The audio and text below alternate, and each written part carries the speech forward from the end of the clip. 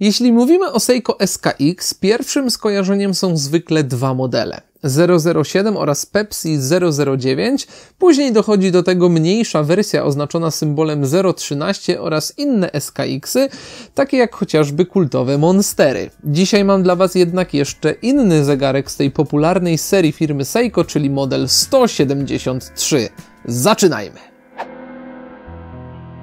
Cześć, nazywam się Krzysiek Humeniuk, a to jest kolejny odcinek TikTok, pierwszego programu o zegarkach na polskim YouTubie. Skoro założyłem rękawiczki, to znaczy, że będziemy się dziś zajmować zegarkami nie tylko w teorii. Mam dla Was bowiem pierwsze na tym kanale porównanie dwóch pozornie identycznych zegarków, ale nie dajcie się zwieść pozorom, bo te dwa czasomierze jednak trochę się od siebie różnią. Za moment przedstawię Wam te szczegóły nieco dokładniej. Zegarki, które właśnie widzicie na ekranie to budżetowe, ale jednocześnie legendarne legendarny już divery Seiko. Po lewej dobrze znany Wam SKX 007, oryginalnie na fabrycznej bransolecie, obecnie na pasku NATO, a także SKX 173, model przeznaczony wyłącznie dla Ameryki Północnej i niedostępny na pozostałych kontynentach. Co ciekawe, standardowa 007 to wersja międzynarodowa, dostępna również w USA, ale z jakiegoś powodu Seiko postanowiło stworzyć dodatkowe wersje SKX-a ograniczone do konkretnego obszaru. W tym przypadku mamy do czynienia z modelem 173, obecnie nieprodukowanym już wariantem, który otrzymałem do testów od jednego z patronów TikTok Marcina, któremu chciałbym bardzo podziękować za przesłanie mi tego zegarka, a teraz już przejdźmy do dokładniejszego porównania zegarków Seiko SKX 007 oraz Seiko SKX 173. Standardowo, jak w przypadku zresztą każdej recenzji, zacznijmy od koperty.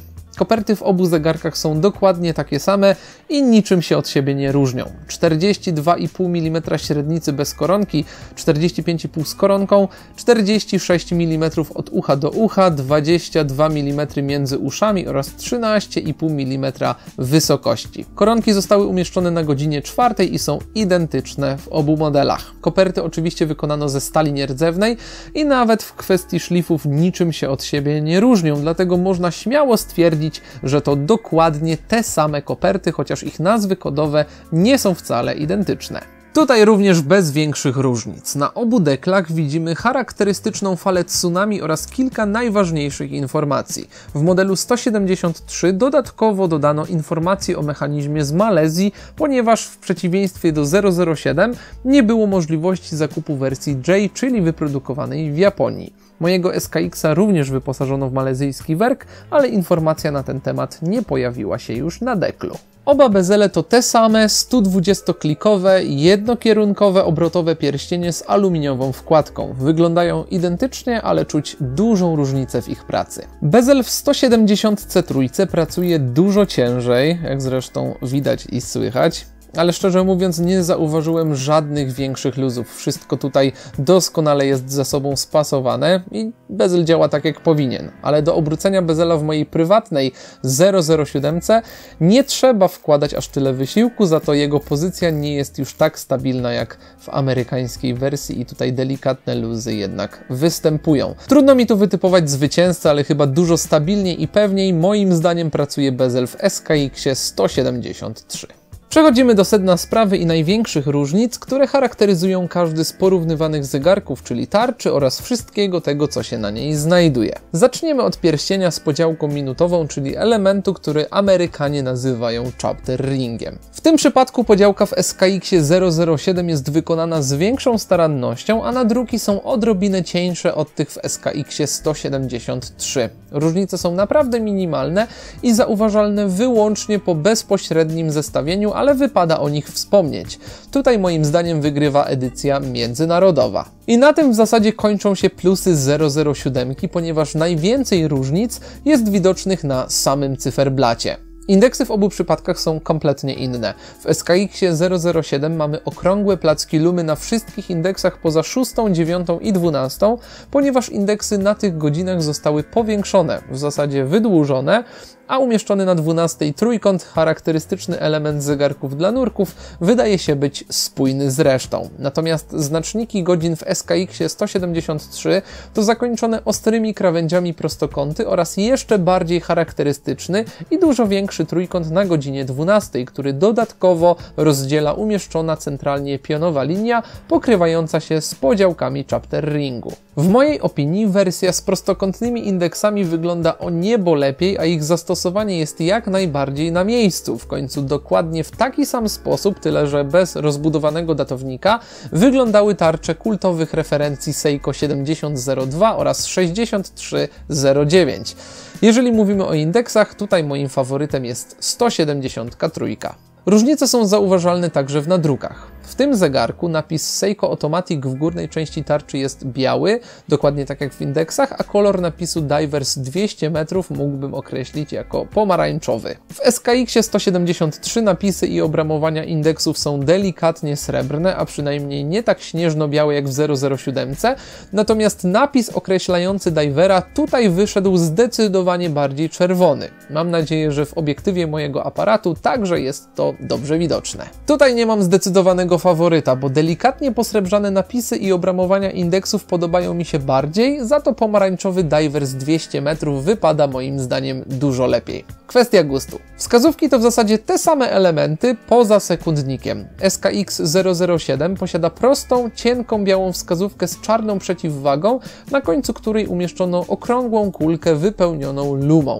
W SKX 173, podobnie jak w przypadku indeksów, Seiko postanowiło skorzystać ze sprawdzonych rozwiązań i umieścić srebrny sekundnik z wypełnionym lumą kółkiem, tyle że znajduje się ono nie na końcu przeciwwagi, lecz po drugiej stronie. W efekcie to kulka lumy wskazuje aktualną pozycję sekundnika i wzór zastosowany w wersji amerykańskiej także dużo bardziej mi się podoba od tego, co znajdujemy w międzynarodowych SKX-ach, także punkt dla wersji 173. Wprawne oko zauważy też, że kolor lumy w wersji przeznaczonej na rynek amerykański jest dużo bardziej zielony niż w mojej wersji, natomiast sama masa Lumi Bright w Seiko SKX 007 świeci ciut słabiej niż w SKX 173. Nie zmienia to jednak faktu, że oba zegarki świecą w ciemności rewelacyjnie i absolutnie nie ma powodów do narzekania. Dodatkowo u dołu tarczy znajdziemy kolejną wzmiankę o malezyjskim mechanizmie. Takiej informacji nie ma w tym zegarku ale bez obaw. Oba werki to dokładnie ten sam kaliber 7S26. Na koniec został sam pasek, którego z oczywistych powodów nie dam rady porównać w tym odcinku, ponieważ nie posiadam wersji SKX 007 na pasku, ale mogę powiedzieć, że mocowania zastosowane w obu zegarkach trochę się od siebie różnią, a w zasadzie są to dwa różne paski. W tym nieco krótszym niż zwykle odcinku przedstawiłem Wam dwa pozornie identyczne zegarki. Jeden bardzo dobrze znany każdej osobie, która zaczyna przygodę z zegarkami, drugi natomiast dostępny przez zaledwie kilka lat na bardzo ograniczonym rynku. SKX 007 to zegarek legenda. Jeśli jesteście zainteresowani jego pełną recenzją, to odsyłam do karty powyżej.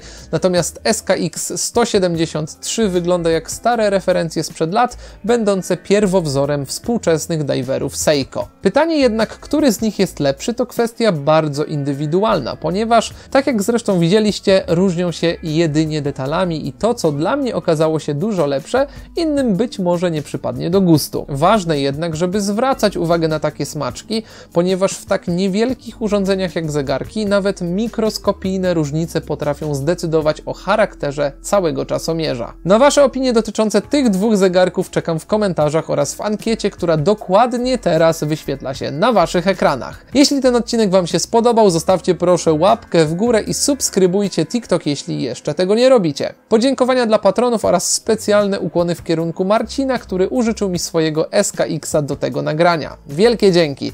Tymczasem na dzisiaj to tyle. Dzięki za obejrzenie i widzimy się w kolejnym odcinku TikTok już za tydzień.